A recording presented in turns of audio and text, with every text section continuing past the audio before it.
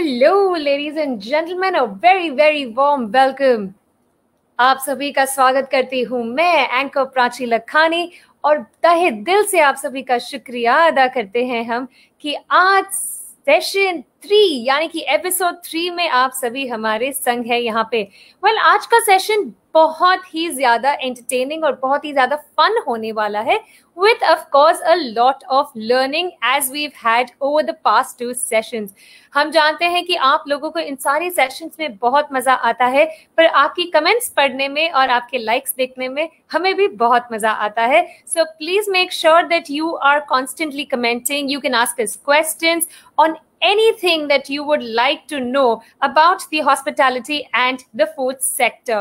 Well, आज के session के हमारे पैनलिस्ट तो हमारे संग हैं यहाँ पे जिनको आप वीडियो स्क्रीन आपके स्क्रीन पे देख सकते हैं और मैं उनका इंट्रोडक्शन जल्द ही दूँगी पर सबसे पहले मैं उन लोगों का शुक्रिया अदा करना चाहूँगी जिनके बिना आज ये सारे एपिसोड्स हमारे ये थर्ड एपिसोड हमारा first second and the upcoming episodes बिल्कुल ही पॉसिबल नहीं होते a very very big thank you to our very very special partners idea ki dukan and of course food mac asia and mira consultancy who has been giving their sincere support to us all throughout thank you so much sponsors thank you so much partners आपके बिना definitely ये wonderful online virtual show हम definitely हमारे viewers तक कभी नहीं ला पाते and of course now coming to my panelist जिनका मैं तहे दिल से शुक्रिया अदा करती हूँ कि उन्होंने अपने कीमती समय से वक्त निकाल के आज यहाँ पे आए हैं और हमारे संग इतनी बातें करने वाले हैं हमारे व्यूअर्स को इतना एडुकेट करने वाले हैं and as you can see their wonderful smiling faces they are all also very excited to meet and greet all of you, my dear viewers. So let me start by giving you all some short little information about all my panelists one by one, after which we will also be listening to their success stories. I would also request all our viewers to hang in there because this is a network medium here. ये एक internet via show है। So sometimes there could be some technical glitches but we are there to make sure that this comes to you hundred percent in the best way so first and foremost we have our very own very dear mister Piyush Saliya Food Mac Asia sir आपका तहे दिल से स्वागत है। And a very big thank you to you to actually have got such a wonderful platform for all of us to get together from any part of the country hum sab mil sakte hain and we can talk about the most important aspects of uh, the country of our essential needs today. So, telling you all a little about Mr. Piyush Salia, ladies and gentlemen, the founder of FoodMech Asia, founder of FoodMech Asia exhibitions from last 10 years. He is also the founder, which has been launched last year, of the Lilaba Awards, as a recognition for food and the hospitality industry. These awards were also considered to be one of a kind in the industry and you have the maker himself over here mr piyush salia a very very warm welcome sir and i would request you to please uh, unmute your mic and greet everybody thanks uh, Prachi uh, आज का जो session है वो बहुत important है इसीलिए कि जितने भी आज पैनलिस्ट आए हैं उन्होंने बहुत कम टाइम में अपनी ब्रांड को बहुत ऊँचे लेवल तक लेके गए हैं। मैं बहुत अच्छी तरह जानता हूँ भूपत जी को, जिन्होंने बहुत शॉर्ट टाइम में अपने ब्रांड को उसने आसमान छू लिया है। वरुण जी ने भी बहुत, अभी छोटी उम्र में भी अपना जो लेबोरेटरी का जो काम उन्होंने हाथों में लिया है, उन्होंने अपना अपना जो काम है बहुत अच्छा निभाया है। हेतल जी की बात करो तो उन्होंने जो लोटस मसाला की जो ब्रांड है वो भी उसने बहुत अच्छी तरह से अभी मार्केट में लॉन्च किया है और लोग उसको अभी आ, आ, उसकी तारीफ़ कर रहे हैं क्वालिटी चेक कर रहे हैं क्वालिटी में बहुत बढ़िया है वो लेके आए हुए हैं। तृप्ति जी को बात करो तो तृप्ति जी ने अभी फ़ूड लाइन में अभी उन्होंने अभी एक कदम रखा है। वो खुद एक डॉक्टर है पर फ़ूड सप्लीमेंट में अभी उन्होंने एक नया कदम रखा है। मतलब अभी के जो पैनलिस्ट है बहुत मतलब बहुत बढ़िया अभी शॉर्ट टाइम में उन्होंने अभी मुकाम हासिल किया है। तो हम जानेंगे अभी नेक्स्ट उनके बारे में जी Definitely, definitely, Piyush ji. And uh, without you, it wouldn't be possible to get such uh, niche people from the market. So, thank you so much for this wonderful, wonderful opportunity. And well, going over to the next set of my panelists, ladies and gentlemen, please welcome with a lot of love. We have with us over here Mr. Bhupat Sukhadia. very very warm welcome sir आपका बहुत बहुत स्वागत है। The M D of Vastu ghee Bhupat ji के बारे में अगर मुझे कुछ बताना होगा so I must tell you that an M Com and an M B as is academic qualification he started his first business in the automobile retail from there उन्होंने एक opportunity Lee to work in a dairy plant taking care of its production departments and also in the managerial role in a span of hardly five years जी हाँ सिर्फ पांच साल में उन्होंने आसमान छू लिया जैसे पीयूष जी ने अभी अभी हम सभी को बताया साढ़े तीन सौ स्क्वायर फुट की ऑफिस से आज उनकी ऑफिस साढ़े तीन हजार स्क्वायर फुट की है The plant that was started with 1800 square foot is now 18,000 square feet. Isn't that brilliant? Well, yes, the work that only started with three distributors in Surat is now more than 350 distributors all across the nation. 12 employees से start किया हुआ plant आज करीब 250 employees से भी ज़्यादा को नौकरी भी देता है और उन्हें एक परिवार भी मानता है So, in a nutshell, more than 10 times the growth, we have with us Mr. Bhupat Sukhadia. A very, very warm welcome, sir. मैं आपसे request करूँगी to please unmute your mic and give us your success story. First of all, thank you, uh, Prachi ji. Uh, thank you, Piyush ji.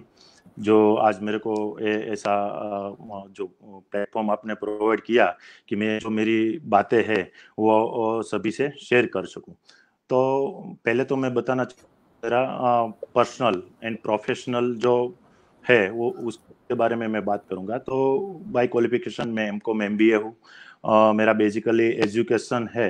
वो मेरा गाँव से हुआ है। मेरा गाँव जो सौराष्ट्र में जूनागढ़ डिस्ट्रिक्ट का विसाउदर तालुका लगता है, उसमें एक छोटा सा गाँव है ईश्वरिया करके, वो वन थाउज़ेंड पॉपुलेशन का गाँव है। तो वहाँ की प्राथमिक शाला में मैंने बेसिक एजुकेशन लिया, उसके बाद में बाजू के गाँव में मैंने हायर सेकेंडरी किया, फिर कॉलेज वगैरह तालुका लेवल की जो कॉलेज है, उसमें किया। तो सारा मेरा एजुकेशन जो है, वो जहाँ नज़दीक मेरे गाँव से हुआ है होता है वहाँ से मैंने लिया है।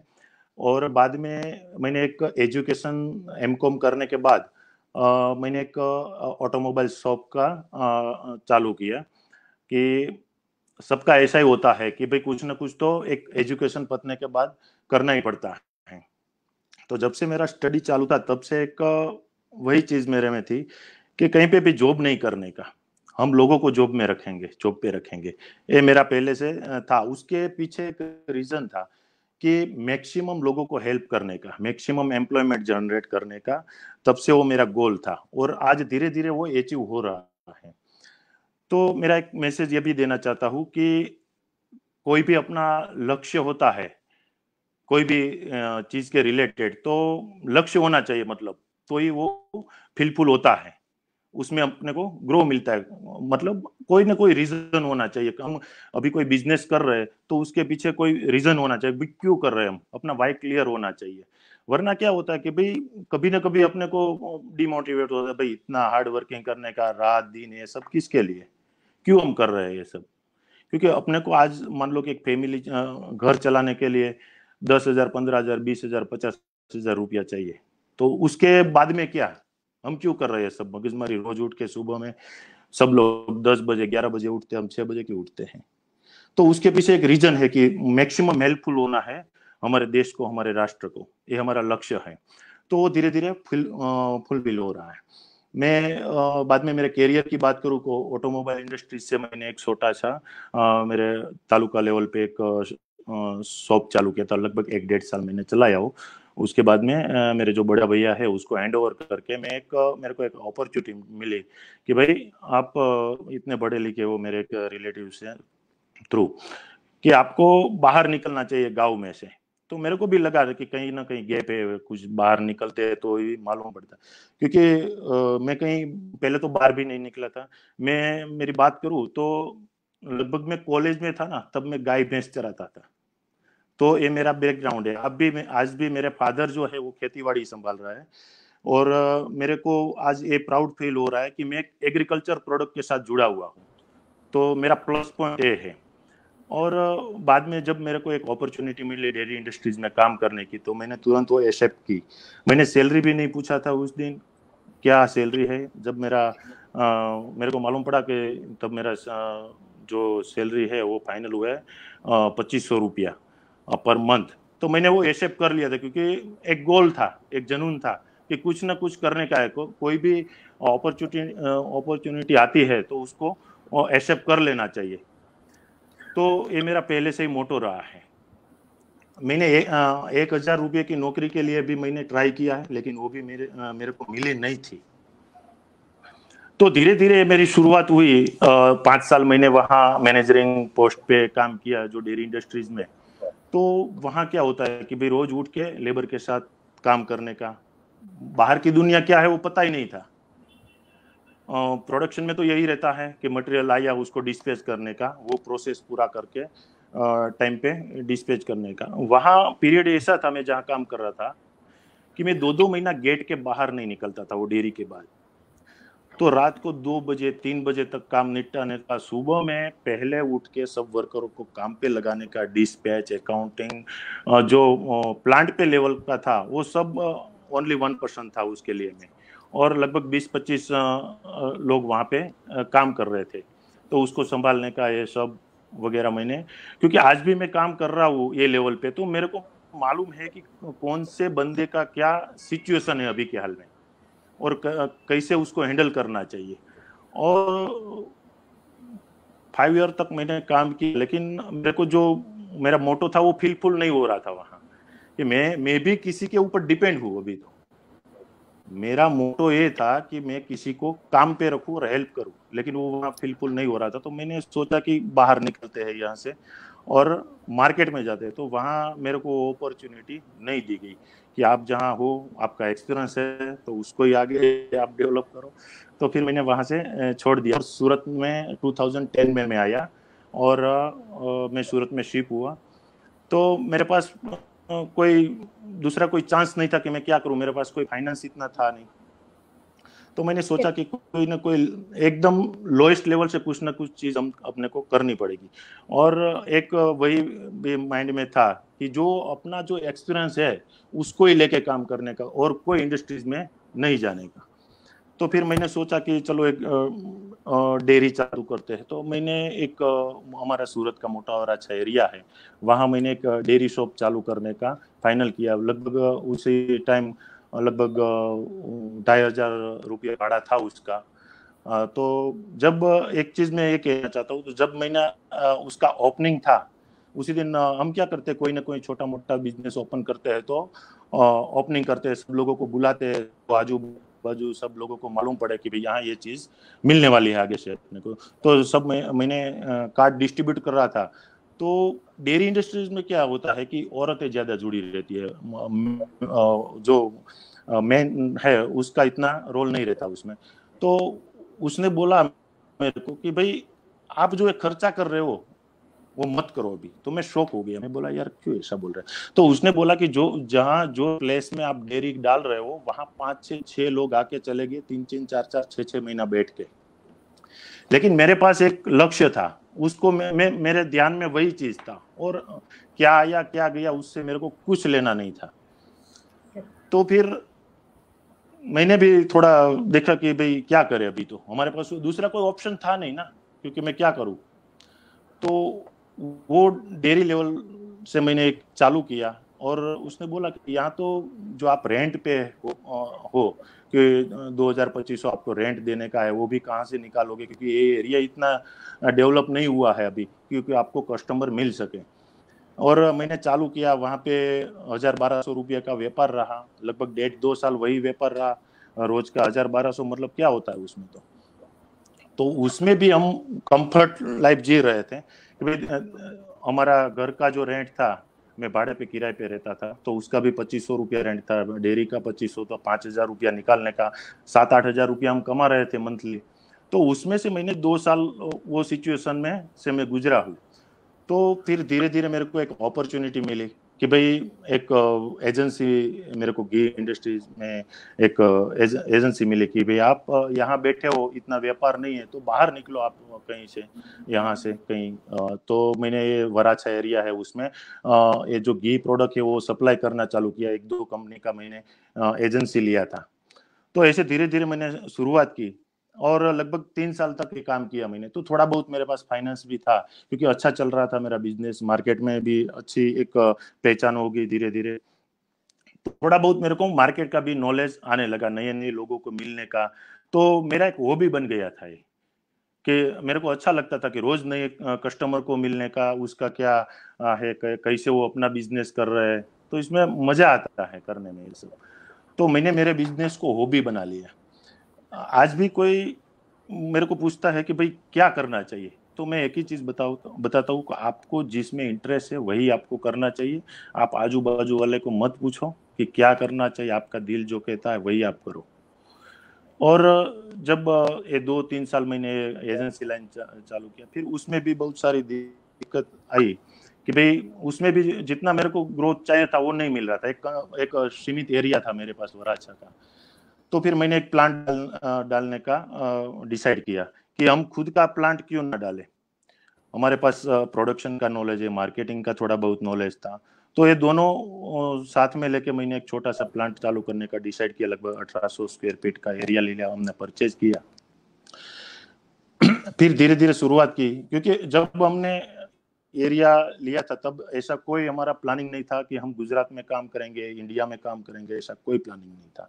लेकिन ये तय था कि भाई अपने को सूरत में काम करने का है और बहुत सारा बिज़नेस वहाँ से हम करेंगे।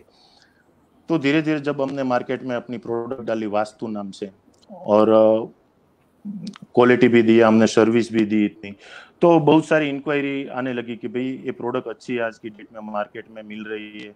तो ये व्यापारी का ग्रुप रहता है उसमें से इंक्वायरी आने लगी। तो मेरे को भी थोड़ा मोटिवेट मिला उसमें से भाई अपने को सामने से इंक्वायरी मिल मिल रही तो उसमें भी अपने को जाना चाहिए। तो धीरे धीरे हमने अहमदाबाद चालू किया राज, राजकोट चालू किया ऐसे धीरे धीरे करके गुजरात चालू किया। फिर हम थोड़ा बाहर निकले एमपी गए फिर राजस्थान चालू किया। तो आज देखो तो लगभग अठारह स्टेट में हम अवेलेबल है और हर स्टेट में हमारी सेल्स टीम है। और अच्छी तरह से काम कर रही है। हमारे लगभग डेढ़ लाख काउंटर पे अपनी प्रोडक्ट है आज अवेलेबल मार्केट में।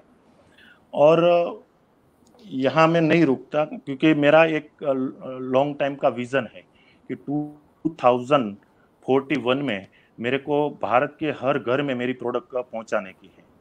तो ये मेरा मेन गोल है। तो ये जो अभी मैं कर रहा हूँ ना, वो मेरे लिए कुछ भी नहीं है। ऐसा मैं समझ रहा हूँ। मैंने जो आज डेयरी इंडस्ट्रीज़ की बात करें तो लगभग ओवरऑल फिफ्टीन परसेंट का ग्रोथ है एनुअल ग्रोथ डेयरी इंडस्ट्रीज़ का। लेकिन मैं मेरी बात करूँ तो आज पाँच साल हुआ हमारी ब्रांड जो वास्तु लॉन्च किया हमने तो लगभग फोर हंड्रेड परसेंट ग्रोथ रहा है हमारा पास्ट का। तो ये हिसाब से हम आगे बढ़ रहे हैं और हमारा जो डीएनए है, हमने तय किया है कि जब हमने एक काम चालू किया, तब से तय किया है कि कौन सी चीज़ को साथ में लेके चलना चाहिए? तो हमारा डीएनए है सिस्टम ह्यूमैनिटी एंड कंट्रीब्यूशन मतलब सिस्टम से कोई भी काम करे तो सिस्टम से करने का है ह्यूमैनिटी। मतलब मानवता को ध्यान में रख रख के करने का है। और कंट्रीब्यूशन कंट्रीब्यूशन मतलब कि कंपनी का तो ग्रोथ हो रहा है, मेरा भी ग्रोथ हो रहा है।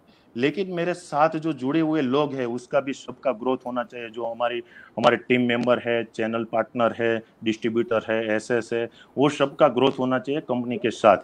तो ये हमारा मोटो है और वो सब चीज़ों को लेके हम चल रहे हैं। और जब हमने अभी यहाँ तक किया है, अभी हमने एक तो घी से चालू किया था, एक ही हमारे पास प्रोडक्ट थी पहले शुरुआत में। अभी हमने रिसेंटली स्टार्ट किया बेकरी आइटम जो लगभग एक डेढ़ साल से कर रहे हैं, वो खाली सूरत और सराउंडिंग एरिया के लिए हमने चालू किया है। और बाकी प्रोडक्ट है मिल्क है बटर मिल्क है, बाकी क्रीम है, ये सब सूरत और सराउंडिंग एरिया में हम सप्लाई कर रहे हैं। मेन प्रोडक्ट हमारा जो है, वो घी है, उसमें भी, काऊ देसी घी। जो काव घी है और जो भी हमारा अभी आज का जो टर्नओवर है उसमें 95 परसेंट जो रेवेन्यू है वो काव घी से आ रहा है। आज से 10 साल पहले की मैं बात करूँ तो लगभग 80 परसेंट बफेलो का घी बिक रहा था। और आज की डेट में 85 परसेंट काव का घी बिक रहा है और लगभग 15 परसेंट बफेलो का घी बिक रहा है। तो लास्ट लगभग आठ दस साल से आ, लोगों में अवेयरनेस आई है काव घी को लेके कि उसका क्या बेनिफिट है। पहले इतनी लोगों में अवेयरनेस नहीं थी। तो ये ये सारी बातें हैं। जी। Brilliant brilliant brilliant awesome awesome awesome आपने एक बात कही भूपत जी जो मेरे दिल को भी छू गई और आई एम श्योर कि हमारे सारे व्यूअर्स को के दिल को भी डेफिनेटली छू गई होगी कि आपके काम को आपकी हॉबी बना दीजिए और देखिए कि आप कैसे फ्लरिश करते हैं और कैसे आप उस काम को इतना एंजॉय करते हैं। मैं भूपत जी की हर बात से सिर्फ़ एक चीज़ फील कर सकती थी कि भूपत जी को अपना काम करने में कितना मज़ा आता है। And that's exactly what he has achieved in so many years जो आप भी अपने काम में डेफिनेटली अचीव कर सकते हैं। सिर्फ़ कि आपको अपने काम से थोड़ा सा प्यार करना है। Well awesome that was really really fabulous Bhupa ji. Thank you so much you may now mute your mic going forward to my next panelists ladies and gentlemen please welcome the very very well known mr varun dave a very warm welcome sir Technical Director, Microbiology, Lilaba Analytical Laboratories. Well, a man with instinct and intelligence in this industry is absolutely super to find, isn't it? Here we have Mr. Varun Dave with his wonderful experience of over 20 years in the field. Varun ji aaj yahan pe hai hamare sang to share his vast knowledge on the micro aspects of the hospitality industry and also educate all of us further on quality cycles of our food and the growth cycles of food business respectively. Varun ji ke bare mein zyada bolne ka koi uh, there are no words that actually can you know sum up everything that he does for the industry but well i'm going to now ask varun ji to please give us his success story. Thank you. Thank you prachi madam. Uh, dear uh, entrepreneur and all uh, myself varun dave uh, director of lila analytical laboratory. First of all thank you very much piyush bhai of food make asia uh, javed bhai dukan and uh, rathod sir uh, for mira consultancy जिसकी वजह से आज मुझे यहाँ पे बात करने का मौका मिला। लीलाबा एनालिटिकल लेबोरेटरी का आविष्कार फ़ूड इंडस्ट्री की जो सबसे बड़ी प्रॉब्लम है बर्निंग प्रॉब्लम है उसको सोल्व करने के लिए किया गया है। हमारे डायरेक्टर्स जो है हमारे डायरेक्टर्स और उसके काफ़ी रिलेटिव्स कुछ समय पहले जो मार्केट में एडल्ट्रेट फ़ूड डुप्लीकेट फ़ूड मिल रहे थे उससे काफ़ी दुखी थे। तो एक बार ऐसा हुआ कि एडल्ट्रेट फ़ूड मिलावट वाला फ़ूड खाने से हमारे डायरेक्टर को एक बार सीरियस कंडीशन में काफ़ी टाइम तक हॉस्पिटलाइज भी करना पड़ा। और उसके रिलेटिव के साथ भी ऐसा हुआ। तो तब से उन्होंने ठान लिया कि आ, हमको ये प्रॉब्लम का हल निकालना है। और फ़ूड इंडस्ट्री को एक क्वालिटी और एक भरोसे की एक नई ऊंचाई के ऊपर ले जाना है। तो फ़ूड ताकि अगर हम फ़ूड की क्वालिटी को एक नई ऊंचाई पर क्वालिटी को और बरसों की बरसों को एक नई ऊंचाई के ऊपर ले जाएँगे तो क्या होगा कि इसकी वजह से किसी को मिलावट वाला फ़ूड नहीं खाना पड़ेगा और उसकी वजह से किसी की जान नहीं जाएगी। इसीलिए लीला बायोनेटिकल लेबोरेटरी का एस्टेब्लिशमेंट 2012 में हुआ। स्टार्टिंग में हमने एक छोटी सी लेबोरेटरी से शुरुआत की थी। शुरुआत में बहुत मुश्किली और संघर्ष का सामना करना पड़ा। फ़ूड मैन्युफैक्चरर को टेस्टिंग के लिए कन्वेंस करने में बहुत ही मुश्किल था। लेबोरेटरी बात वहाँ तक आ चुकी थी कि लेबोरेटरी एक चलाने में भी मुश्किल हो रही थी। लेकिन हमारे पास हमारा जो मकसद था वो क्लियर था। हम लगातार अपनी सर्विस को नयापन देते गए। हमने फ़ूड इंडस्ट्री को एक कस्टमर के रूप में नहीं, हमारे पार्टनर के रूप में देखा। और उसके हर एक प्रॉब्लम में हम इन्वॉल्व हुए।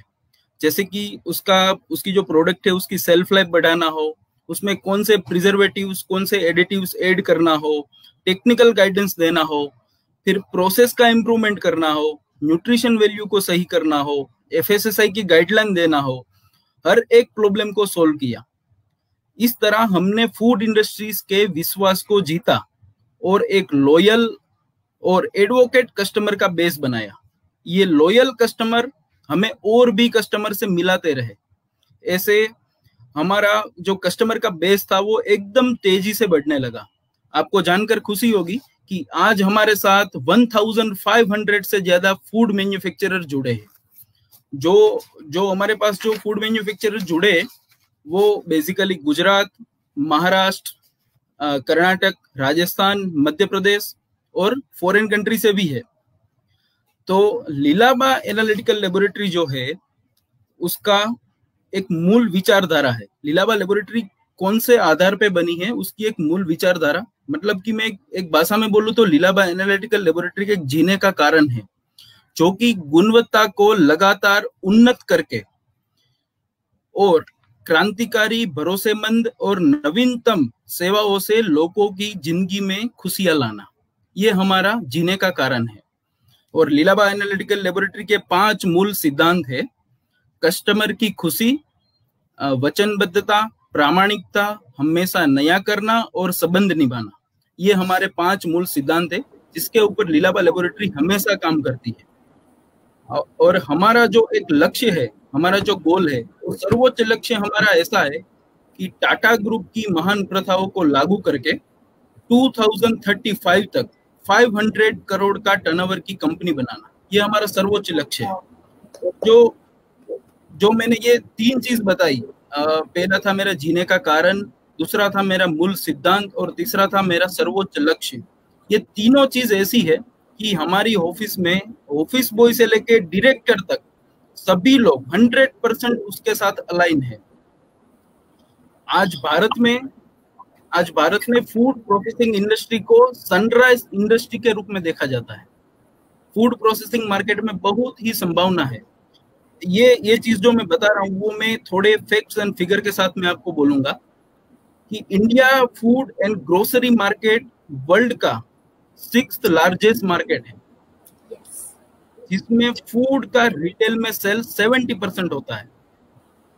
और फ़ूड का रिटेल मार्केट 2013 में 490 बिलियन यूएस डॉलर था, जो 2021 तक 894 बिलियन यूएस डॉलर होने की उम्मीद है। और ऑर्गेनिक फ़ूड कंजप्शन जो है, वो 2021 तक तीन गुना बढ़ने की उम्मीद है। तो ये सारे आंकड़े जो है वो फ़ूड इंडस्ट्री के सुनहरा भविष्य बताते हैं। लेकिन इतनी सारी संभावनाएँ फ़ूड प्रोसेसिंग इंडस्ट्री में है उसके साथ साथ फ़ूड बिज़नेस फेल होने के चांस भी काफ़ी सारे हैं। मैंने अपने ये करियर में मेरे एक्सपीरियंस में काफ़ी सारे फ़ूड इंडस्ट्री को बंद होते हुए देखा है। Yes. कौन से रीजन कौन से रीजन से वो बंद होते हैं? और उसके वो जो प्रॉब्लम आते हैं वो जो ट्रैप में फंस जाते हैं उसका सोल्यूशन क्या है? वो मैं आप उसमें से मैं तीन रीजन जो है तो तीन मे, मेजर रीजन जो है वो मैं आपके साथ शेयर करूँगा। फ़र्स्ट रीजन है प्रोडक्ट जो है फ़ूड प्रोडक्ट उसमें उसमें कुछ इनोवेशन नहीं करना। मतलब इनोवेटिव कुछ चीज़ नहीं करना। इनोवेटिव का मतलब है इनोवेशन नहीं करने का ये मतलब है कि जैसे कि किसी एक मैन्युफैक्चरर ने एक चीज़ बना दी फ़ूड प्रोडक्ट बना दी तो दूसरे लोग भी वही चीज़ बनाने लगते हैं पीछे। बेसिकली वो ये देखते हैं कि ये ये जो मैन्युफैक्चरर है ये चीज़ बना के सक्सेसफुल हुए तो हम भी ये बनाएँगे और सक्सेसफुल हो जाएँगे। लेकिन एक सेम चीज़ बनाने का एक बहुत बड़ा नुकसान है। वो नुकसान ये है कि अगर आप सेम चीज़ बनाओगे तो वो चीज़ आपको मार्केट में रखने के लिए आपको स्पेस नहीं मिलेगी। Right. तो उसका एक सोल्यूशन ये है कि पूरी दुनिया में अनगिनत फ़ूड प्रोडक्ट है और वो फ़ूड प्रोडक्ट को बनाने की अनगिनत टेक्निक्स है। तो थोड़ा बहुत रिसर्च करके आ, हम ज़रूर कुछ नया बना सकते हैं और सक्सेसफुल हो सकते हैं। फेल होने का दूसरा रीजन ये भी है कि एक्सपर्ट जो होते हैं एक्सपर्ट की एडवाइस नहीं लेना। काफ़ी सारे फ़ूड मैन्युफैक्चरर ऐसे हैं कि एक्सपर्ट एडवाइस नहीं लेते हैं। एक्सपर्ट एडवाइस क्यों ज़रूरी है? क्योंकि किसी भी फ़ूड प्रोडक्ट है वो कोई भी लोगों को तभी पसंद आएगी जब उसको आँखों से देखने में अच्छी लगेगी टेस्ट करने में बेहतर लगेगी और उसकी हेल्थ के ऊपर कोई नुकसान नहीं करेगी। ये तीन चीज़ ये तीन चीज़ होना कोई भी फ़ूड प्रोडक्ट में बहुत ज़रूरी है कि एक तो वो देखने से अच्छा लगे खाने में बेहतर लगे और वो कोई अपने शरीर को नुकसान ना पहुँचाए अपनी हेल्थ को कोई हजार्डस ना हो। Yes. तो एक्सपर्ट गाइडेंस इसलिए ज़रूरी है कि अगर आप कोई फ़ूड बना रहे हो तो वो उसका पैकेट है, वो सभी को अच्छा लगे, वो सबको पसंद आए। इसके लिए जो पैकेजिंग लेबलिंग के जो एक्सपर्ट होते हैं, उसकी एडवाइस लेना बहुत ज़रूरी है। दूसरी चीज़ होती है कि उसका टेस्ट उसका टेस्ट कैसे बेहतर बनाए तो उसके लिए जो प्रोडक्ट डेवलपमेंट एक्सपर्ट जो होते हैं, उसकी एडवाइस लेना बहुत ज़रूरी है। तीसरी और मेन चीज़ है कि ये फ़ूड खाने से सभी को फ़ायदा होगा। किसी को नुकसान नहीं होगा। ये चीज़ के लिए आ, हमारी जैसी जो लेबोरेटरी होती है उसकी एक्सपर्ट एडवाइस लेना बहुत ज़रूरी है। तीसरा और तीसरा और लास्ट रीजन ये है कि सेल्स एंड मार्केटिंग का प्लान नहीं होना। काफ़ी सारे स्मॉल स्केल पे काफ़ी सारे फ़ूड मैन्युफैक्चरर बिज़नेस स्टार्ट करते हैं मगर उसके पास जो सेल्स एंड मार्केटिंग का जो प्लान होता है वो बिल्कुल ठीक तरह से बना हुआ नहीं होता है जिसकी वजह से एक दिन उसको बिज़नेस है वो वाइंड अप करने का टाइम आता है। करेक्ट तो उसमें क्या होता है कि कभी कभी बहुत सारे लोग बिना सेल्स एंड मार्केटिंग का प्लान बनाए बिज़नेस स्टार्ट करते हैं। उसने अपने जो आइडियल कस्टमर है उसकी प्रोफ़ाइल डिफाइन नहीं कर, करी होती है। उसको लीड जनरेट कहाँ से होगी वो उसको पता नहीं होता है। उसको effective marketing activity on right place करना है। उसका प्लान नहीं उसके पास होता है। उसके पास आर मतलब रिटर्न ऑन इन्वेस्टमेंट का प्लान नहीं होता है।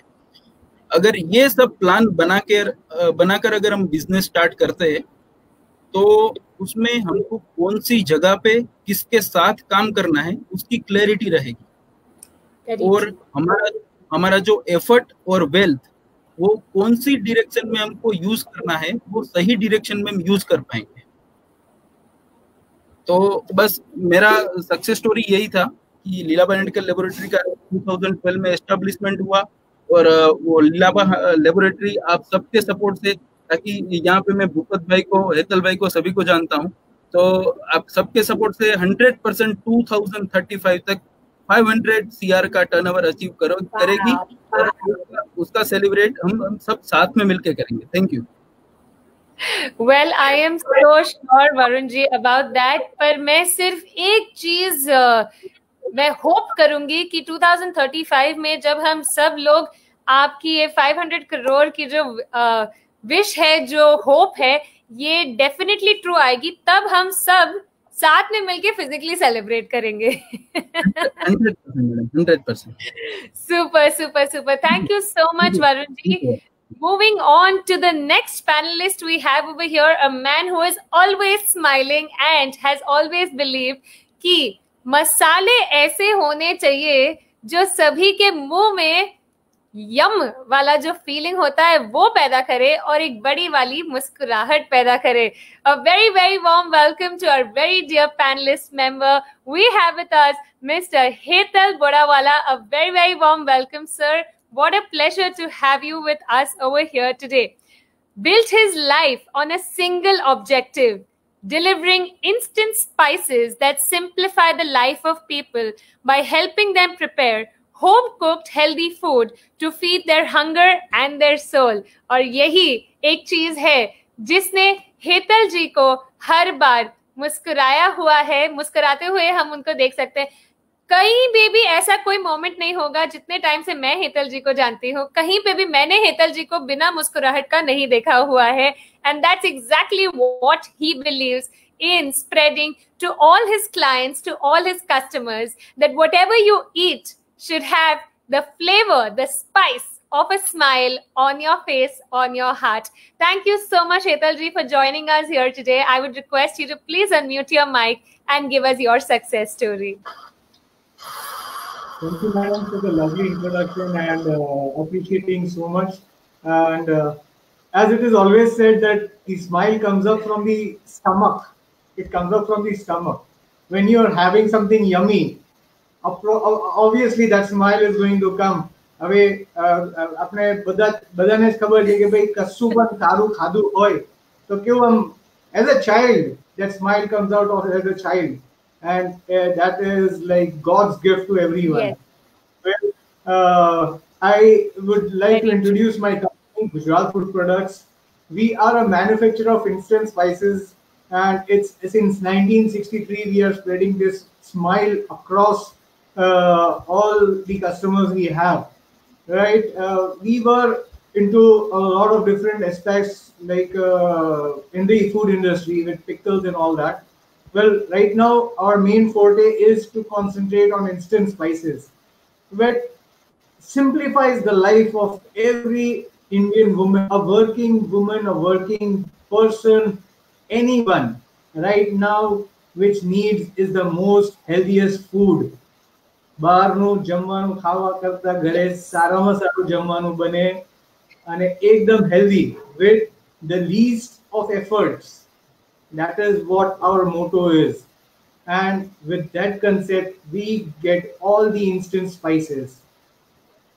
Well, it's not only to the Wow. taste, it comes up with the aroma also, giving all the natural aroma into it, the natural colors and everything, maintaining everything on one single aspect. I started my journey with uh, Wow. my father in the year 97 and it started from manufacturing i used to be in the production side well and uh, i have been in this since then and it just started as a hobby i am not a qualified or anything in the uh, aspect for food industry but Jim ભૂગલભાઈએ કીધું કે that passion into you that goal into you to serve and to build up a team yes of course that is there that is there and that has to be always and as varun also said that giving the purest things and knowing everything that is what we do they give the best and you don't need to be someone like when uh, mr varun's director he uh, served some time uh, in the uh, hospital for his illness and having some bad food. So that's what we take care of that people get the best food. Let it be an indian cuisine like indian cuisine it might be punjabi south indian or anything gujarati varieties. We serve all that and apart from that we even serve continental dishes Wow. like pizza, burger, sandwich, and all those spices are also covered up for instantly. Like you can make all the varieties, you can cover, cover up all the things, whatever you want in this. So uh, this is what we have. We built up things and all that.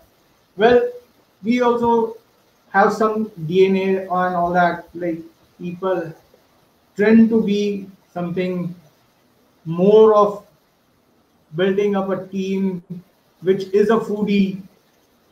Everyone over here knows everything like what is the trend right now going on? What is right now in demand? Or whatever it is seeing the uh, season which season what would be necessary? Right now in this uh, pandemic i can say like people are suffering from so much of food shortage and it is but of course these have been uh, affected the transportation and all that. Well not necessary to say that uh, we can help ourselves by something or the other. By i've seen in this uh, situation people have made the best of the best foods minimum of what they have at their houses and it doesn't matter like whatever it might be and uh, however it might be True. so uh, people actually tend to do all those things whatever it might come up to and uh, well we carry on with uh, you Prachi, and I would not say much That about myself or. We carry on the show with I must say one thing कि आपकी सारी बातें सुन के मुझे भूख लग गई what a wonderful what, what a wonderful belief you have you have over there to make things simple for every person because आज की दुनिया में आज की इतनी फास्ट लाइफ में in most of the metropolitan cities for sure hum dekhte hain that you know everybody is running to work to you know to get their careers to get their money to earn and everything और उसमें खाने जैसी चीज जो सबसे ज्यादा important होती है अगर वो सिंप्लीफाई हो जाती है तो I think it's the best thing that you are gifting anybody Thank you so much, Hetalji, for that wonderful success story. And now, ladies and gentlemen, I come to one of my favorite panel members of the day, a woman we have for the first time with us on our episode. Ladies and gentlemen, a woman who has personified the word epic. Yes, ladies and gentlemen, we have with us Dr. Trupti Barot from the Shacharkam Research Center. Well, to tell you all a little about Dr. Trupti before I let her uh, come forward with her success story. She is a BAMS MD in Ayurvedic infertility specialist. She's a managing director of the Shachyartham Ayurvedic Infertility Research Center in Surat with over 20 years of practice. She has always believed that you need to give happiness of parenthood to thousands, as she has given it to thousands of IVF failure couples. Participants, she has also been there in many world conferences as a keynote speaker and an international research paper presenter on infertility in Ayurveda. Well, countries she has visited to share her knowledge are innumerable Canada, USA, Austria, Europe, Malaysia, Sri Lanka, and so many more. She also conducts and organizes many national conferences all around the country. Also, an executive committee member of the Ayur Group of Gujarat, GAMA. Vishwa Ayurved, Parishad also she has achieved and she currently also conducts a live show on television channels as an infertility expert and women empowerment and she has also been facilitated by many many medical associations registration board of gujarat schools societies and the brahma bhat samaj etc well ladies and gentlemen i can just go on and on about this lady but no words are going to be enough to let you all know that how beautiful a soul we have over here today. So, ladies and gentlemen, with lots and lots of love from me and from all my viewers, I welcome Dr. Trupti Birod. A very warm welcome, ma'am. Thank you Prachi ji नमस्ते good afternoon friends I am doctor Trupti Barot my all introduction Prachi ji ने बहुत अच्छी तरीके से दे दिया है। मेरे लिए बोलने के लिए कुछ बाकी ही नहीं रखा है। I am practicing last twenty twenty years in Surat as a infertility specialist I am doing many researches on infertility I have been successful in providing happiness of parenthood to treat a couple uh, who tried almost all the modern treatment include IVF, but were unable to conceive. Food make idea की दुकान Meera consultancy page पे आप सभी का हार्दिक स्वागत करती हूँ श्री राजन भाई श्री पीयूष भाई और प्राची जी का और ऑल ऑर्गेनाइजिंग टीम का मैं हृदय पूर्वक आभार व्यक्त करती हूँ and glad to meet you my dear panelist Prachi ji ने मेरा बहुत ही अच्छे से इंट्रोडक्शन दिया है। ब्रीफली प्रोफेशनल जर्नी के लिए मैं आपके सामने प्रस्तुत करना चाहती हूँ। और मेंटल पॉजिटिव आज का मेरा टॉपिक है मेंटल पॉजिटिविटी को चैलेंजिंग टाइम में कैसे इंप्रूव करना चाहिए। उसके लिए गाइडलाइन देना चाहती हूँ। मेडिकल की लंबी पढ़ाई के बाद 1995 में I have graduated and obtained my degree in B M S from O H Nazar Ayurvedic college Surat with blessing of my parents support of my husband and love of my children in two thousand I have reach the first milestone of my career by starting my own practice at Mahuva in a small clinic. In 2006, in order to enhance my knowledge in Ayurveda, I, went to Arya Sala, located at Kerala, and uh, gain a deeper knowledge in Ayurveda. I was uh, fully of full of energy and uh, confidence once I was back in Surat to treat the society. But of course, had different uh, God ha- plan had different plans for me. Surat flood of 2006 completely destroyed my clinic. After this incident, I pounced the I bounced back more strongly than ever. I completed my MD in infertility and started my two Satyartham Ayurved and Infertility Research Center at Surat. I have done various research in the field of infertility and presented it internationally at various conference held at uh, uh, Prachi ji ने explain किया है Austria USA Sri Lanka Malaysia Canada and nationally as a various city of our country COVID 19 की वजह से world के doctors और research scientist uh, के सामने नया चैलेंज आ गया यह चैलेंजिंग टाइम में मैंने अपना 25 इयर्स का एक्सपीरियंस लगा दिया और उसका उसको रिसर्च करते हुए, उसका नॉलेज को कंबाइन करते हुए मैंने आयुर्वेद का लक्ष्य, स्वस्थ से स्वास्थ्य रक्षण मतलब कि prevention is better than cure के साथ में।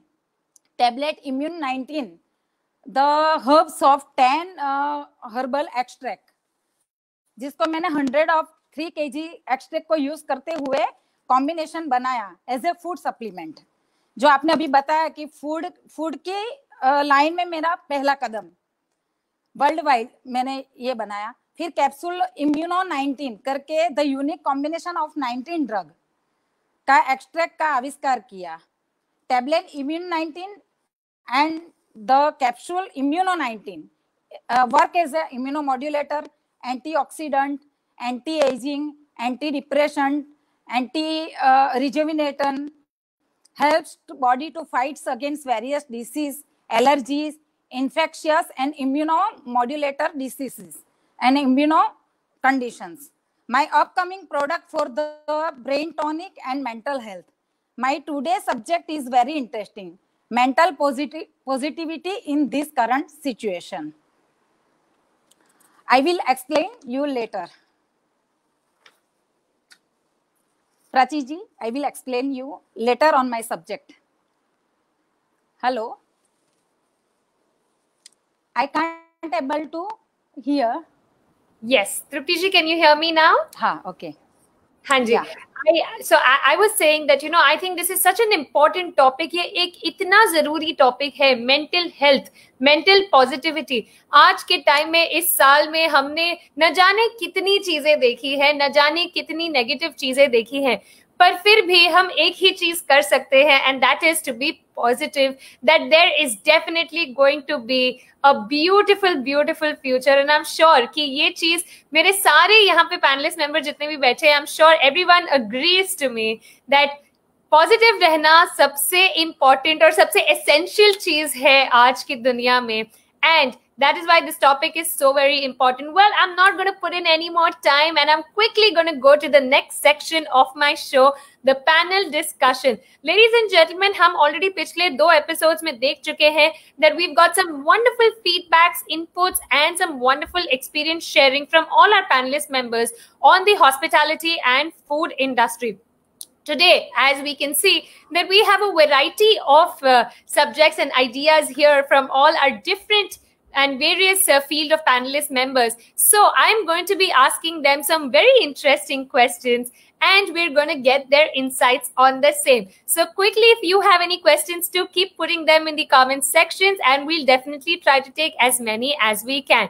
मेरा सबसे पहला सवाल जाता है to my very dear mister Bhupat ji को मैं सबसे पहला सवाल पूछना चाहूँगी on extremely important question relating to the technicality of the hospitality and food industry with regards to the dairy industry as sir is from that field sir I would like to ask you that what is the role of M S M E business in the dairy industry M S M E का क्या role है dairy industry में? इसके बारे में आप क्या कहना चाहेंगे? You can please unmute your mic sir and you can give us your opinions first of all तो डेयरी इंडस्ट्रीज़ की बात करें तो एमएसएमई एमएसएमई मतलब फुल फॉर्म की बात करें तो micro small and medium business entrepreneur तो उसमें लगभग पच्चीस लाख का जो टर्नओवर बेसिक पच्चीस लाख से ढाई सौ करोड़ का जो टर्नओवर करती है, जो कोई भी पेटी है कंपनी है तो उसमें उसको लिया जाता है, उसको बेनिफिट मिल रहा मिलता है गवर्नमेंट के हिसाब से सब्सिडी है, वो सब। तो बहुत सारे बेनिफिट है एमएसएमई के लिए बिज़नेस करने के लिए, उसको डेवलपमेंट करने के लिए गवर्नमेंट का हेल्प हेल्प रहता ही है। और डेयरी डेयरी इंडस्ट्रीज़ की बात करूँ मैं तो डेयरी इंडस्ट्रीज़ एक ऐसी चीज़ है कि वो डेली रूटीन में जरूरियात रहती है। आज मिल्क की बात करें तो सुबह में उठ के सब लोगों को मिल्क तो चाहिए ही चाहिए। एक दिन भी मिल्क नहीं आया तो बहुत परेशानी हो जाती है। तो रूटीन यूजे यूजेबल आइटम है जो डेयरी प्रोडक्ट है सारी वो।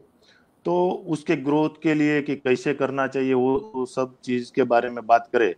तो कोई भी बिज़नेस हो, उसको स्टार्टअप करने के लिए एक अच्छा पे तो आइडिया होना चाहिए अपने पास। फाइनेंस की इतनी कोई मेजर रिक्वायरमेंट नहीं रहती। अगर एक अच्छा प्लेट आइडिया अपने पास है तो। पैसे तो बहुत सारे सबके पास है, लेकिन आइडिया नहीं होता प्लानिंग कुछ नहीं होता तो वो लॉन्ग टर्म नहीं चलता। एस्टेब्लिश हो जाता है, सब कुछ हो जाता है, लेकिन ग्रोथ नहीं मिलता उसमें। तो जैसे वरुण जी ने बताया था प्लानिंग नहीं होती तो लगभग दो तीन साल में बंद हो जाता है। और एक रिव्यू के हिसाब से मैं बताऊँ तो लगभग तीन साल के अंदर जो नए बिज़नेस ओपन होते हैं, उसमें नाइन्टी सेवन परसेंट बंद भी होते हैं। क्योंकि सब बिज़नेस नहीं चल पाते। और इसमें भी डेयरी इंडस्ट्रीज़ में बात करूँ तो उसमें टाइमिंग परफेक्ट होना चाहिए। तो ही बंदा काम कर सकता है तो ही डेवलपमेंट उसका हो क्योंकि उसमें सर्विस बेस का बिज़नेस है। टाइम टू टाइम उसको प्रोडक्ट को सर्विस देनी पड़ती है कस्टमर को, कि टाइम टू टाइम उसको प्रोडक्ट मिल सके। मिल्क है बटर मिल्क है, ये सारी चीज़ें हैं। जो फ्रीजर आइटम है, वो क्या शॉर्ट टर्म एक्सपायरी है दो से तीन दिन की तो उसमें ये बहुत सारी ये जो प्रोडक्ट है तो उसमें ध्यान रखने जैसी बाबतें हैं। और जो नया स्टार्टअप है, उसके लिए मैं बात करूँ तो इसमें पहले अपना बात किया कि कोई मेरी ही बात करूँ मैं खुद की।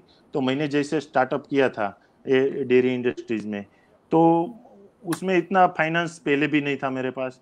तो जब हमने धीरे धीरे स्टार्टिंग किया और आज ये मुकाम पे हम पहुँचे हैं तो बहुत सारे लोग हैं जो उसको आज क्या करना चाहिए, वो उसके माइंड में क्लियर नहीं हो रहा है कि अपने को कौन सा बिज़नेस करना चाहिए? अभी ये कोविड नाइन्टीन की बात करें सिचुएशन की तो लगभग मोस्ट ऑफ़ बिज़नेस बंद था। और खाली डेयरी इंडस्ट्रीज़ है मेडिसिन है, वो फार्मा है, वही चालू था, क्योंकि वो रूटीन रिक्वायरमेंट है हर एक लोग की। तो ये इंडस्ट्रीज़ है, उसमें फ्यूचर भी बहुत सारा है इसका, क्योंकि वो रूटीन में यूज़ होती है प्रोडक्ट और हर एक लोगों को ये चीज़ चाहिए ही चाहिए। तो इसमें फ्यूचर भी अच्छा है, अगर प्लानिंग से हम करें तो।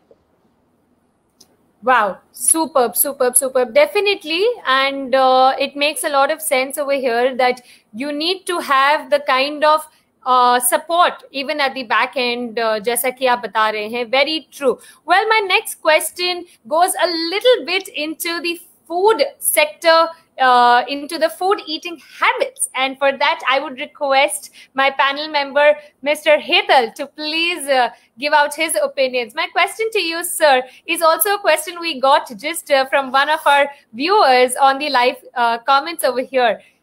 Any tips? What would be your five tips to enhance positive food habits for the population of our country?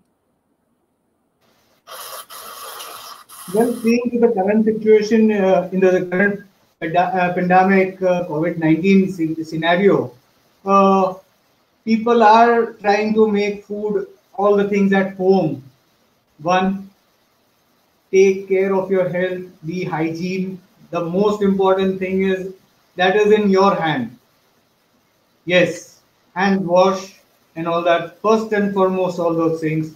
Mask hand wash compulsory and be careful outside food avoid outside food as much as you can you can create the best of food from home that is the second tip stay healthy stay fit do some workouts. There's a lot of time in this world. There is nothing like that. You don't have time, right? Accept the challenges. Go, go to the challenges. Accept the challenges, and create something new out of what you want, right? Then whatever it is, in any condition, stop the junk food. Junk food, junk food is anywhere going to lead you to unhealthy and most creating the most most most dirty things out of you Bhupal Bhai, as he said like the uh, consumption of ghee is increasing yes. People have started knowing how healthy it is on having ghee. From the options of butter oil or whatever the other options are. Consumption of ghee is really very good. Have a ghee one day in a, one spoon you can just have it like that also. That can be a very it is miracle. It is miracle. Having ghee is just a miracle. It is it is medicine actually you don't need to take medicine if you are just consuming ghee like that and I, I bet Varun Bhai also might agree to that because he is an analyst on all these things. So uh, he has uh, he might have studied on all those things right yes. so people are attending to all those things and uh, diversifying their themselves and yes of course that chatta and all those things they can make it at home.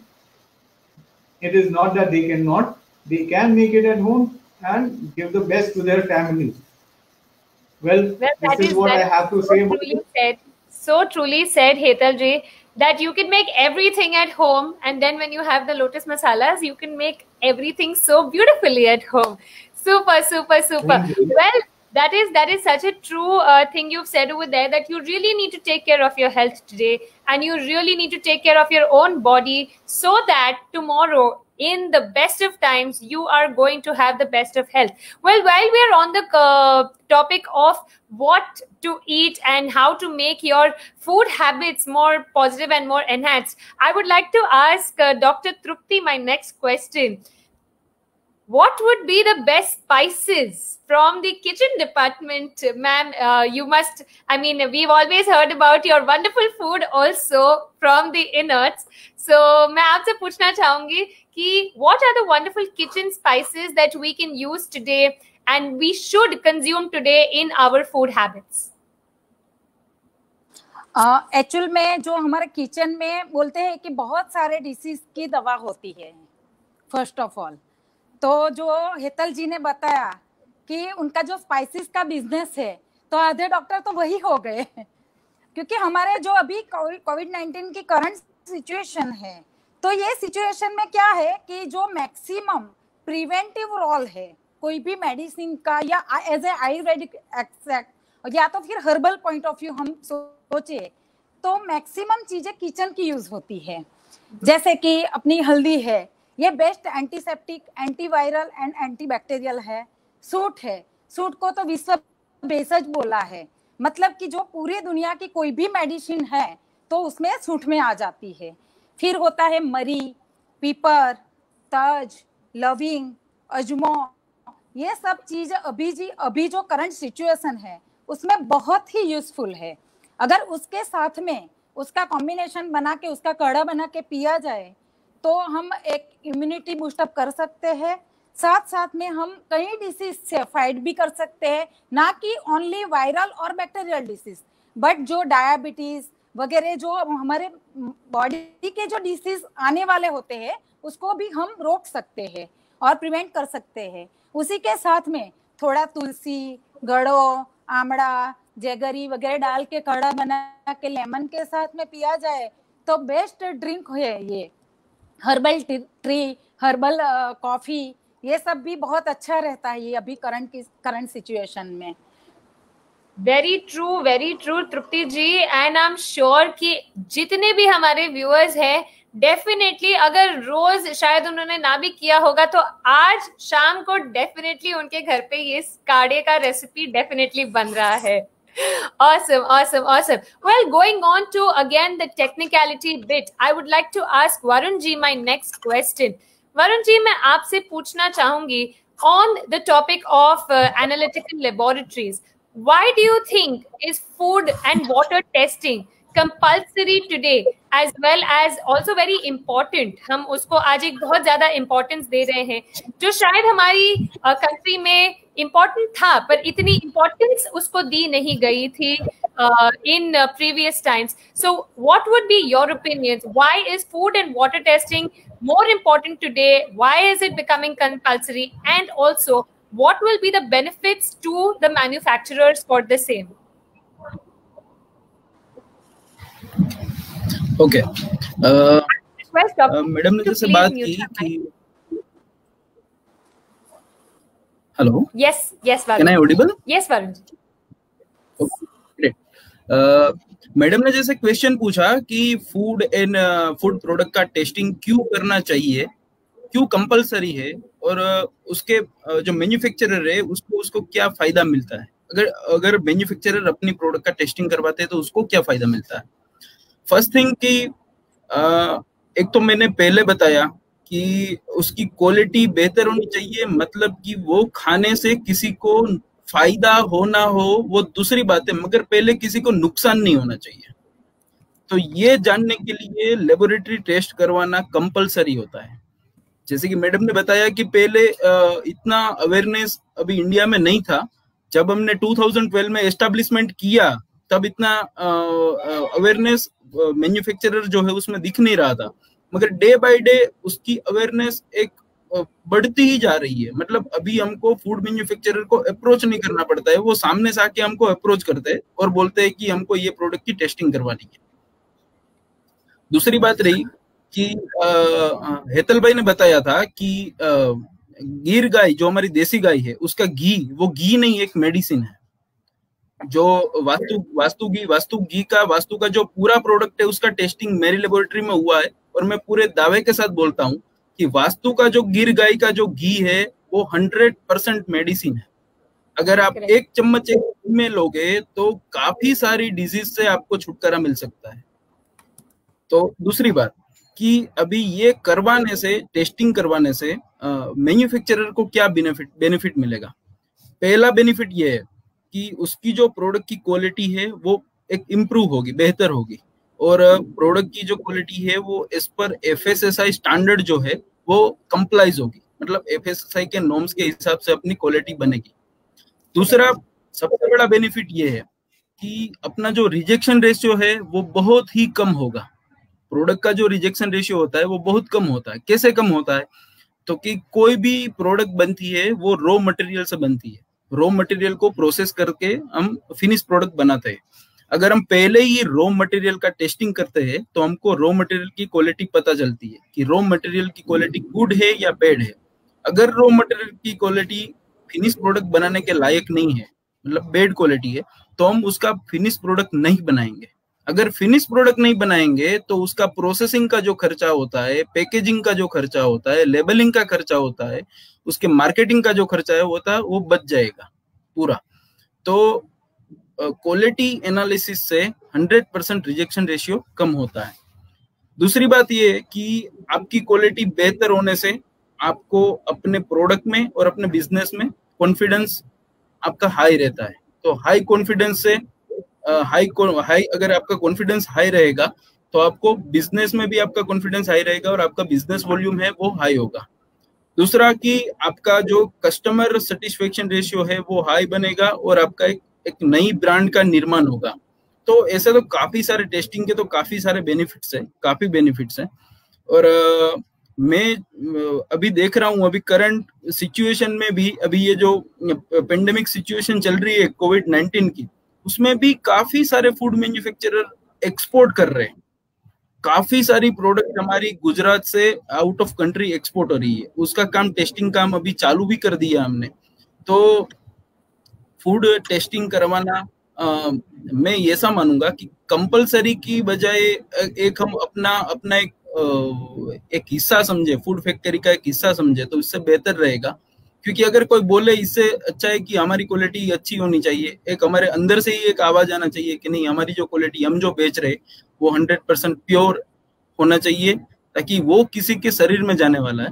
तो ऐसे food testing करवाना compulsory as well as उसके काफ़ी सारे benefits manufacturer को भी है thank you brilliant brilliant brilliant i'm sure that that is going to be an information that uh, a lot of people a lot of our viewers are going to get very very advantages from मेरा अगला सवाल है पीयूष जी के लिए पीयूष जी मैं आपसे जानना चाहती हूँ लिलामा अवार्ड्स जो आप ऑर्गेनाइज करते हैं for the hospitality and the food sector how important have you kept the category of quality of food and quality of uh, food handlers food manufacturers ये क्वालिटी की जो बात जैसे कि अभी वरुण जी ने भी कहा that how important is the quality and not only the amount of food you make or the amount of uh, products you make but also the quality of all these products that you make how important is the category of quality in the Lilaba Awards is what I would like to know from you, Piyushji. You can unmute your mic, please. हाँ हाँ प्राची जी हाँ जब हमने लीला लीलाबा award किया था तब हमको पूरे इंडिया से पाँच हज़ार प्लस इंक्वायरी आई थी सिर्फ़ लीलाबा अवार्ड के लिए क्योंकि हमने फ्री रखा था सबको ऐसा था कि भाई हम फॉर्म तो भर दे आएगा तो ठीक है नहीं तो कोई बात नहीं इस तरह का पूरा प्रोसेस हुआ था पर हमारे पीछे बहुत बड़ी टीम लगी हुई थी इसके पीछे क्वालिटी का मेंटेन करने के लिए क्वालिटी के प्रोडक्ट कौन बनाता है तो फ़ूड इंस्पेक्टर है राठौर सर है कैट के प्रेसिडेंट थे कैट के सेक्रेटरी थे और दो फ़ूड कमी इंस्पेक्टर थे। तो सब मिला के हमने उनकी फैक्ट्री में जाके पूरा क्वालिटी को चेक किया था। वो लोग कहाँ टेस्टिंग करवाते हैं हमने वहाँ चेक करवाया था। जिनके लेबोरेटरी उनका चेक होता है उन, उनसे हमने रिपोर्ट मंगवाए थे। भाई ये जो सही, ये है सही है कि गलत है? पूरा पूरा एक एक कॉम्बिनेशन करके हमने उनका अलग अलग उनका कैटेगरी वाइज उनको अवार्ड दिया था। हमारा जो पहला सपना था जब हमने स्टार्ट मैंने पहले ही बोला था पहले एग्जीबिशन में बोला था कि हमारा एक गोल था एग्जीबिशन करने के पीछे कि हमारी जो फ़ूड इंडस्ट्री है उसको हमें बहुत आगे आगे लेके जानी है। आज भी सारे मैंने इन, इनकी जर्नी सुनी। तो अब लग रहा है कि सही में अपना फ़ूड मेक एशिया से लोग एक एक्सपोर्ट की तरह बढ़ेंगे। क्योंकि हम लास्ट ईयर से हम बाहर के विजिटर लाने की हम पूरे पूरी कोशिश कर रहे हैं लास्ट लास्ट ईयर भी आए थे। नेक्स्ट ईयर भी हम लोग ऐसा प्रयास करेंगे कि अब लोग इंडिया इंडिया से एक्सपोर्ट करने की जो बात है, वहाँ पे आगे बढ़े एग्जीबिशन से। वही हमारी एक चीज़ Very true, very true, Piyush ji. And it is definitely a wonderful medium here to get such wonderful uh, people to be exper- to be sharing their experiences along with all of us. My next question would be once again I am coming back to Varun ji. Varun ji, मैं आपसे uh, जानना चाहूंगी which is the accreditation required for analytical laboratory?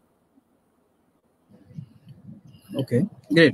Uh, कोई भी laboratory होती है food testing laboratory होती है। उसके पास एक एक्रेडिएशन उसके पास एक अथॉरिटी होना बिल्कुल ज़रूरी है। क्योंकि उसके पास एक अथॉरिटी होनी चाहिए कि वो आपकी प्रोडक्ट को मार्केट में बेचने बेचने बेचने की अथॉरिटी दे। मतलब एक टेस्ट सर्टिफिकेट देके उसके पास एक अथॉरिटी होनी चाहिए। तो उसमें सबसे पहला और एकदम इम्पोर्टेंट जो एक्रेडिएशन है, उसका नाम है एन ए बी एल उसका फुल फॉर्म है National Accreditation Board of Testing and Calibration Laboratory एक एनएबीएल का लाइसेंस होना चाहिए। उसके बाद उसके पास एफ़ का रिकॉग्नाइजेशन होना चाहिए। Food safety and standard authority of India का अप्रूव होना लेबोरेटरी उसकी अप्रूव होनी चाहिए। दूसरा है B I S bureau of Indian standard है वो एम हो गया। फिर CPCB central pollution control board फिर ई आई सी एमओईएफ ऐसे काफ़ी सारे लाइसेंस होते हैं जो एक एनालिटिकल जो लेबोरेटरी होती है, उसके पास होने चाहिए। वो सारे लाइसेंस के माध्यम से laboratory food water soil fertiliser cosmetics product material वगैरह का टेस्टिंग करके आपको रिज़ल्ट देती है और वो जो रिपोर्ट मिलता है, वो पूरे वर्ल्ड वाइड में ऑथोराइज होता है। तो लेबोरेटरी के पास ऐसे काफ़ी सारे एक्रेडिएशन लाइसेंस और रिकॉग्नाइजेशन होने चाहिए। Wonderful, wonderful, wonderful. Going over to my next question, I would like to ask Dr. Trupti. Mental health की आपने की थी बात जो सबसे इंपॉर्टेंट है आज तो मैं मेंटल हेल्थ और मेंटल पॉजिटिविटी के लिए आपसे पूछना चाहूँगी कि ऐसी क्या जैसे हमें आ, हेतल जी ने पाँच बहुत ही बढ़िया टिप्स बताए for healthy food to the soul मैं आपसे पूछना चाहूँगी five techniques for mental positivity for the soul okay thank you ji thank you Prachi ji uh, अभी अभी जो कंडीशन है तो वर्ल्ड में स्ट्रेस किसको नहीं है? पहले किसी को डेथ का फियर किसी को फाइनेंशियल का फियर किसी को हेल्थ प्रॉब्लम का फियर किसी को बिज़नेस का स्ट्रेस किसी को फाइनेंस का स्ट्रेस कुछ ना कुछ सोशल स्ट्रेस किसी को फेम का स्ट्रेस अभी जो करंट सिचुएशन में हम देखते हैं कि किसी ने ये कर लिया, वो कर लिया मतलब सब लोग स्ट्रेस में जी रहे हैं। और कोविड 19 की वजह से ये स्ट्रेस लेवल और भी बढ़ गया है। According to recent data during this pandemic many people of the world suffering from the stress, more than 80 percent normal simple living person को तो स्ट्रेस कम रहता है। पर जैसे ही आप एक लेवल से ऊपर उठते हैं, तभी आपका स्ट्रेस लेवल और भी बढ़ता जाता है। Day by day stress level बढ़ता ही रहता है। तो अपनी बफर कैपेसिटी उसको इम्प्रूव करना चाहिए first of all will power और सेल्फ uh, कॉन्फिडेंस को स्ट्रॉन्ग करना चाहिए क्योंकि ये करने से आप कोई भी स्ट्रेस लेवल के सामने जजुमने की शक्ति रख सकते हैं। वर्ल्ड की कोई भी सिचुएशन या प्रॉब्लम ऐसा नहीं जिसका कोई सोल्यूशन नहीं है। आ, मेरी मम्मी कहती है कि जब हमारे सामने सौ दरवाजे बंद होते हैं तो कुदरत कोई ना कोई एक दरवाज़ा खोल ही देती है। तो ऐसी कोई सिचुएशन आए तो अपनी मेंटल पॉजिटिविटी को इम्प्रूव करते हुए वो एक दरवाजे का हमको सर्च करना चाहिए। मेंटल पॉजिटिविटी के लिए क्या करना चाहिए? तो सबसे पहला तो एक अपना स्पिरिचुअल पावर बढ़ाना चाहिए। आप जो भी गॉड में बिलीव करते हैं डेली प्रार्थना करें। इससे आपका स्ट्रेस लेवल और मेंटल हेल्थ अच्छी रहती है। Minimum five to ten minutes meditation करना चाहिए। Thirty minutes out of twenty four hours खुद के लिए जिए। मतलब कि थर्टी मिनट में कुछ ना करे, अपने आप से मिलिए, अपने आप को पहचानिए। प्रॉपर स्लीपिंग पैटर्न फॉलो करनी चाहिए, जिससे मेंटल हेल्थ अच्छी रहती है। डेली एक्सरसाइज करनी चाहिए या वॉक करना चाहिए, जो भी आपको पसंद आए। जो लोग, दोस्त, आपको पसंद है, कम से कम दिन में एक बार उनसे बात ज़रूर कीजिएगा। इन्वॉल्व इन होल सॉरी प्राणायाम करें अनुलोम विलोम करे और हाँ। ओंकार वगैरह का जाप करना चाहिए जिससे भी स्ट्रेस लेवल और अपनी मेंटल हेल्थ अच्छी रहती है। योग और आसन करना चाहिए। आनंद बालासन चाइल्ड पोज सुखासन पश्चिमोत्तानासन उत्तानासन अर्ध चक्रासन सशंकासन शीर्षासन सवासन वगैरह आसन जो होते हैं तो ये अपने स्ट्रेस मैनेजमेंट और मेमोरी इंप्रूव करने के लिए बहुत ही अच्छे आसन बताए गए हैं। मतलब पूरा अपना लाइफस्टाइल एक पॉजिटिव थॉट्स और पॉजिटिव इम्पैक्ट लेके जीना चाहिए। अपनी जो पाँच ज्ञानेन्द्रिय है eyes ear nose tongue and skin तो उसका जो सेंसेशन है sight hearing smell touch and taste तो ये फाइव सेंस ऑर्गन भी हमारे माइंड को हैप्पी स्ट्रॉन्ग एंड कूल रखने में बहुत ही मददगार होते हैं। अपनी एनर्जी अपने माइंड में ही रहती है। मतलब कि अपना विल पावर और पॉजिटिविटी को बढ़ाना चाहिए और अपनी फ़िज़िकल और मेंटल हेल्थ को इम्प्रूव करना चाहिए। एज ए आयुर्वेदिक डॉक्टर मैं यहाँ पे थोड़ी मेमोरी हब का एक्सप्लेनेशन करना चाहती हूँ और थोड़ी हेल्थ सप्लीमेंट उसका वो भी एक्सप्लेन करना चाहती हूँ, जो कि अपने स्ट्रेस लेवल को कम करने में, अपनी मेंटली विल पावर को बढ़ाने में as a brain tonic as a antioxidant herbal mental health supplement में काम आ सकती है। पहले तो जैसे कि ब्राह्मी संकुष्पी बचा अश्वगंधा, जटामासी, ज्योतिषमती, टगर इवन हरिद्रा, जो अपने हेतल जी ने बताया तो उसका जो डिपार्टमेंट है हरिद्रा, सूट, पिपली। और जो अपने वरुण जी ने सॉरी भूपत जी ने बताया कि डेयरी फार्म में जो उन्होंने बताया कि काव का प्रोडक्शन और सेलिंग बहुत ही बढ़ गया है पिछले कई दिनों में। तो काउ घी, काउ मिल्क वगैरह भी brain tonic as a brain tonic बहुत यूजफुल होता है। तो ये सब चीज़ों को अपने डे बाई डे किसी भी डॉक्टर की गाइडलाइन लेके as a brain tonic, nervine tonic memory boost up support in stress और ये सब के लिए यूज़ करना चाहिए। और अपनी बॉडी कैलोरी में जो होता है, उसमें से ट्वेंटी परसेंट अपने ब्रेन को कैलोरी चाहिए। तो मतलब कि ऐसा खाना खाना चाहिए कि जिससे जो ट्वेंटी परसेंट ब्रेन को कैलोरी चाहिए तो वो खाने में से मिल जाए। तो यहाँ पे मैं थोड़े फ़ूड के जो सप्लीमेंट है, वो एक्सप्लेन करना चाहती हूँ, जिससे कि आपका स्ट्रेस लेवल कम हो डिप्रेशन कम हो और मेमोरी पावर बढ़े as a brain tonic work करे as a nervine tonic work करे तो ऐसे कौन सी कंटेंट्स है जो omega three fatty acid antioxidant जो भी फ़ूड में आता है, वो सब यूजफुल है। Vitamin E product vitamin C product vitamin B complex वाली प्रोडक्ट विटामिन के वाली product magnesium copper zinc iron vitamin A vitamin B twelve vitamin B six fibre वगैरह ऐसी बहुत सारी चीज़ें हैं। तो जो उसमें, जो कंटेन ये सब प्रोडक्ट वाली जो कंटेन होती है एज ए फ़ूड भी तो ये फ़ूड इंडस्ट्री की ये सब कंटेंट्स को आप प्रोड्यूस करेंगे तो इससे अपनी मेंटली हेल्थ इंप्रूव हो जाती है। तो ऐसी कंटेंट्स वाले फ़ूड कौन से कौन से है? वो मैं बताना चाहती हूँ अपने दर्शक मित्रों को। एक तो वॉलनट है वेल नॉन है, अखरोट खाना ही चाहिए दिन में दो तीन बार। दो तीन अखरोट खाना चाहिए आलमंड्स खाना चाहिए। बनाना बनाना भी ब्रेन मेंटल हेल्थ के लिए बहुत यूजफुल है। Peanuts strawberry blackberry blueberry avocado और काउ मिल्क और घी और पनीर, जो मैंने अभी बताया, वो भी बहुत अच्छा है ब्रेन टॉनिक और बच्चों बच्चों को भी खाने की हैबिट डालो और ऑयल कम करके काउ घी पे ज़्यादा फोकस करो। और पटो सब्ज़ी में बोले तो परवड़ पम्किन पम्पकिन बहुत अच्छा ब्रेन टॉनिक है। पालक भी अच्छा है, उसके साथ में हीमोग्लोबिन भी बढ़ता है। ब्रोकली अच्छा स्ट्रेस रिलीवेंट है। हल्दी, suit coffee dark chocolate whole grains उसमें ब्राउन राइस बर्ली वगैरह यूज़ कर सकते हैं। ऐसी प्रोडक्ट भी फ़ूड इंडस्ट्री अगर डेवलप करना चाहे तो बहुत यूजफुल रहता है। स्ट्रेस लेवल में भी और एज ए ब्रेन टॉनिक भी। तो ये सब चीज़ों का और नॉनवेज में खास करके फैटी फ़िश और एग तो ये चीज़ें भी एंटी स्ट्रेस और brain tonic as a brain tonic बहुत यूजफुल है। Thank you Prachi wow that superb. That was some very uh, detailed list जो हमें यहाँ पे मिली हुई है।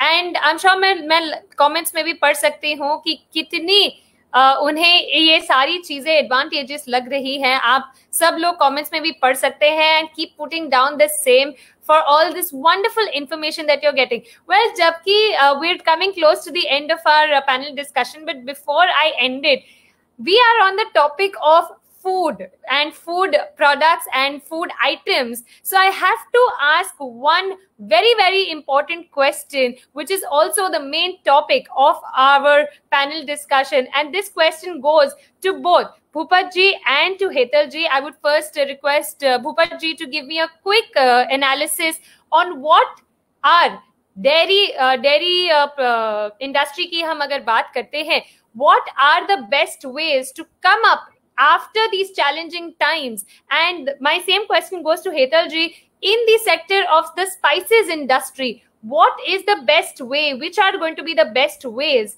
to come up in after the challenging times in the market towards becoming more and more profitable? So, my first question to Bhupaji, please. So, you can unmute your mic. Okay. In this situation Covid 19 हम yes. देख ही रहे हैं। पहले भी मैंने बताया कि ये सिचुएशन में ओनली फ़ूड प्रोडक्ट एंड जो मेडिसिन फार्मा है वही चालू था।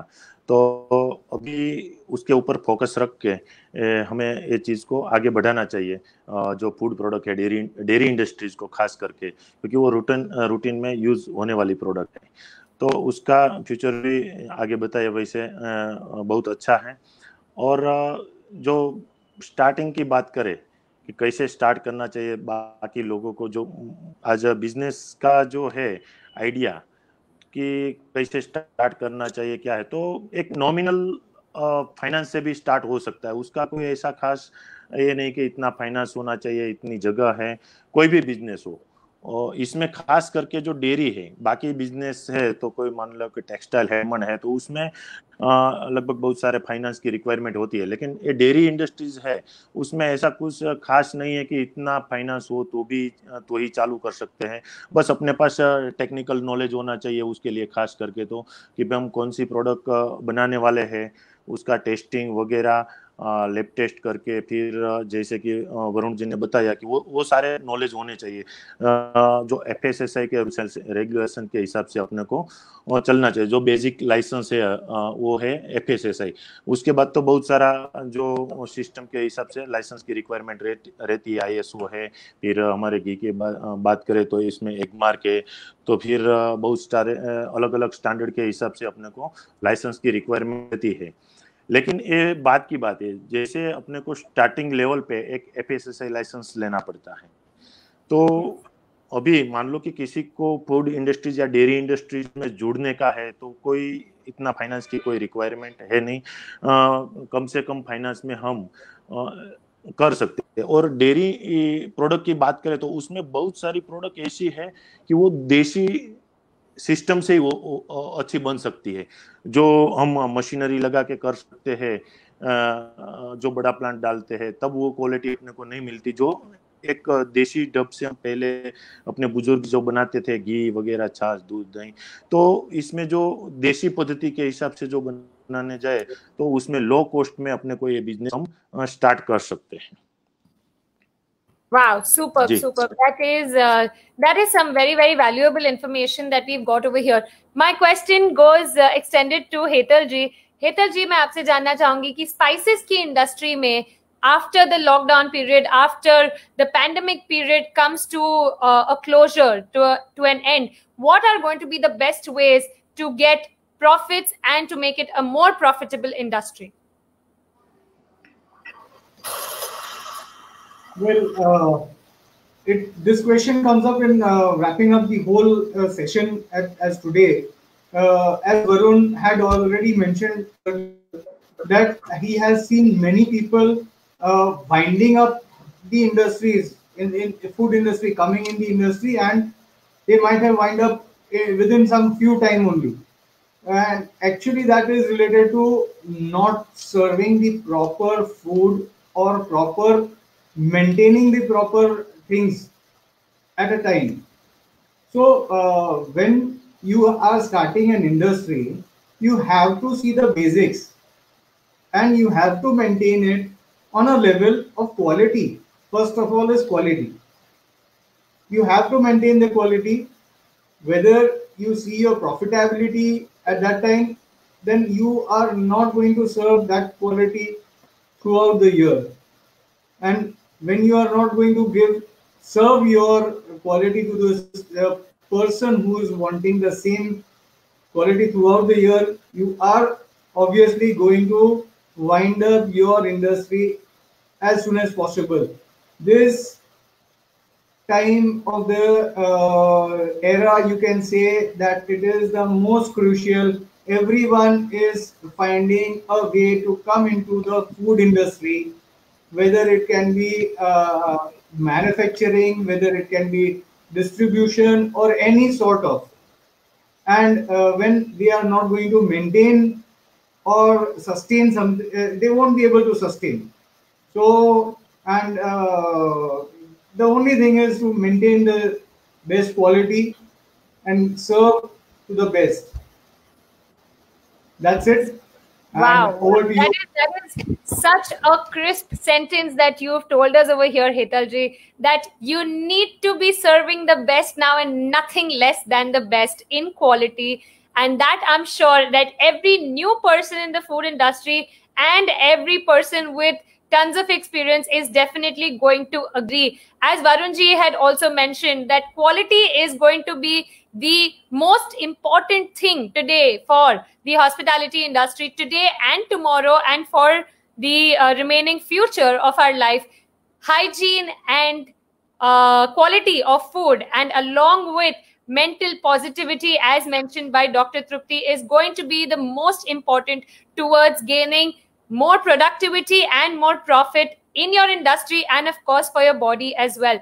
Wow, what a wonderful session I've had. And I must say that such valuable information that has been passed on over here. I can read some wonderful comments over here. Great work, good going, good done, Trupti ji. Nice, uh, super Bhupat ji. Nice tips given by Hital ji. Extremely well done. Wow, superb. I'm not able to read all the comments, but as many as I can read. Superb. Thank you so much to all my wonderful viewers, to all my wonderful audience for such wonderful feedbacks. आपके feedbacks ही होते हैं आपके ये सारे शब्द होते हैं जो हमें भी बहुत मोटिवेट करते हैं to keep getting you such wonderful content over here, to keep getting you such wonderful panel members And such wonderful information मैं तहे दिल से मेरे सारे पैनल मेंबर्स का भी शुक्रिया अदा करना चाहूँगी for giving for giving us such an amazing experience via this virtual medium and being there along with all of us thank you so much और मैं चाहूँगी कि मेरे सारे पैनल मेंबर्स एक बार खुद के लिए तालियाँ बजा दें for a wonderful wonderful moment over here. Thank you so much. But before I leave and before I say goodbye, I have to take this opportunity to say thank you to all our sponsors. As you can see on your uh, screen over here, we have our presentation partners, FoodMac Asia, our conceptualizing partners and design partners, Idea Ki Dukaan, who have got this wonderful, wonderful uh, uh, setup over here. Also, we have been supported by Heart and Soul by Mira Consultancy, and of course, all our panelist members. And we have Piyush Ji who'd like to say something. Yes, Piyush Ji. Hetal bhai ko kuch Yes, please, Hetal ji. Please, you can unmute your mic and please uh, speak uh, speak as you would wish. Uh, it is uh, it is about Food Mac Asia and Piyush Bhai. It is always that Piyush Bhai comes up with a very innovative idea, whether it is uh, a show, uh, um, it's Food Mac show or uh, presenting awards or anything. Piyush Bhai comes up with some awesome ideas always, and uh, I really thank uh, Piyush Bhai. Well, uh, Mira Consultancy, uh, uh, Mr. Rajan Rathod, I am in touch with him since uh, he was uh, serving, uh, he was in the on his duty, and he has been a wonderful person always. And today I have come up with Idea Ki Dukan, Mr. Javed. He is a super person, and but of course you as a moderator, Prachi, you have also been a very good moderator today. And I also thank all the panelists, Mr. Varun, uh, Bhupat Bhai. We are closely associated, Drupad Bhai, and we are known very much to each other. And uh, it was nice knowing the man today, uh, Trupti, Dr. Trupti. It was nice knowing you also today.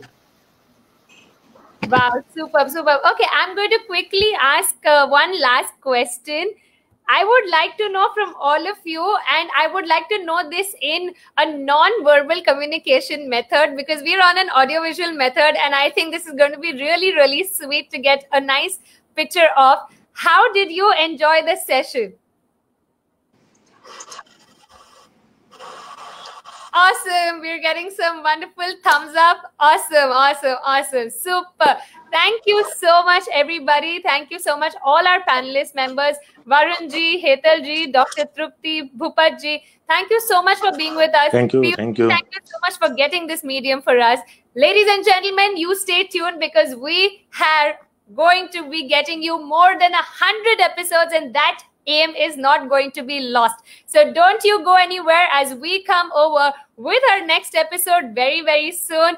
Till then, thank you so much. Goodbye, sayonara. Have a wonderful, wonderful day. This is Anchor Prachi Lakhani from the entire team saying Shukriya. Goodbye. Thank you. Thank you. Thank you.